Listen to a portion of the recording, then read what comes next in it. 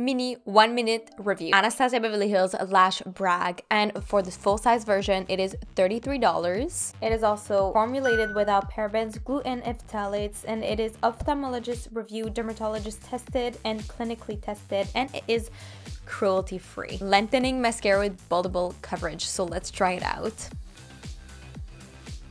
It is also waterproof and look at the difference. It's crazy. So do I recommend it? Of course, because I tried it before and it is absolutely amazing. It gives you the look of false lashes without weighing you down.